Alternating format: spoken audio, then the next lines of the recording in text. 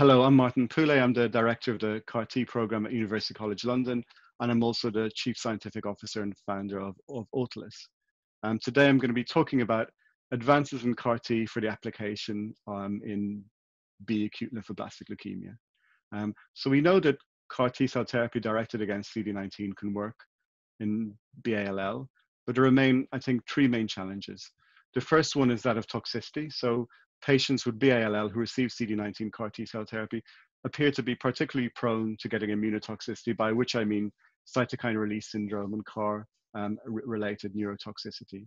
And this seems to be higher incidence than, for example, in diffuse large B-cell lymphoma, and it tends to be higher and more severe in adults um, compared with children. So that's the first problem. Then the second problem is, is, is, is really that of sustaining response. So most patients receiving CD19 CAR for acute lymphoblastic leukemia go into remission, uh, but that, that's not really the main challenge now. The main challenge is keeping them into remission, keeping them in remission, and keeping them in remission so they don't need a, a, a, a consolidative allograft.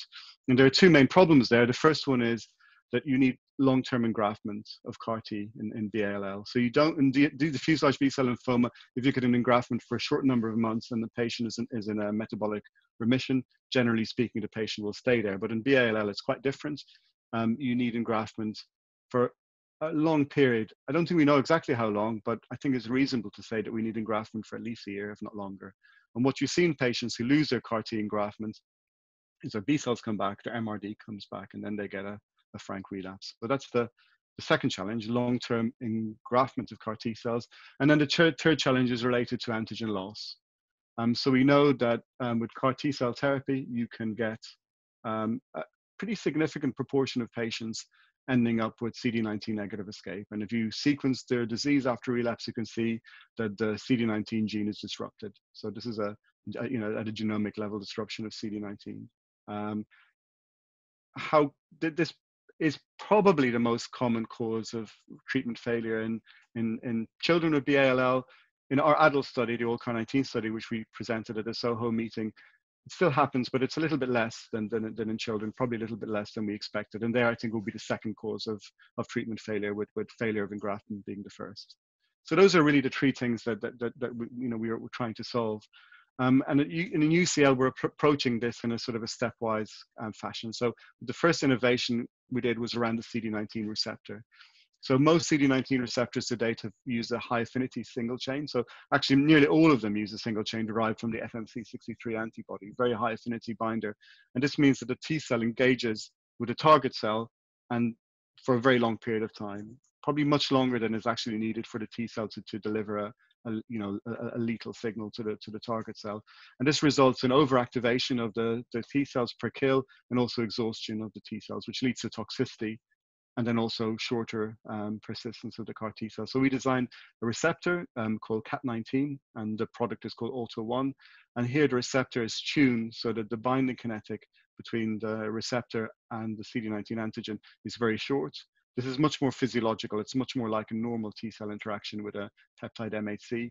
And then this results in less inflammation per kill. So the T cell comes along, kills the target cell, and then moves on very quickly um, so this causes less inflammation for the same number of, of tumor cells killed, but also the T cell gets less exhausted. So we tested this receptor, the CAT19 AUTO1 receptor in a pediatric study um, that we published um, in Nature Medicine in 2019, Gorakhshian et al. And this showed us really, we're very happy to see the results from this because it showed us what we hoped to see, which is longer engraftment and less toxicity. And we brought this forward in the ALLCAR19 study in, in, in adults. So that addresses at least in part, you know, the, the, the, problem of toxicity to some extent and also improves persistence. The next problem then is, is, is CD19 negative escape. And there the obvious thing to do is to target a second antigen um, because then the tumor has to randomly mutate two antigens to escape if you target two antigens at the same time. So there we've we're focusing on the obvious second antigen, which is CD22. So CD22 is an early late B cell antigen is expressed a little bit after CD19 and is expressed on most cases of BALL.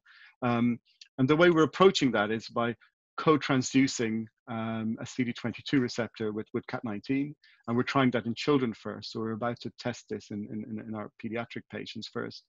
Um, and hopefully what we'll see is um, long-term engraftment of both CD19 and CD22 co-expressing cells, re receptor expressing cells, and a reduction or an elimination of CD19 negative escape. Um, it's fair to say that CD22 targeting has been challenging because CD22 is a very bulky antigen and it's difficult to make a good immunological synapse when you're targeting with a receptor and also it's expressed at lower density um, than, than, than, CD9, than, than, than, CD19. So we put a huge amount of effort into making a very sensitive um, CD22 receptor that we hope will, will, will, will solve, will overcome th this difficulty with this antigen.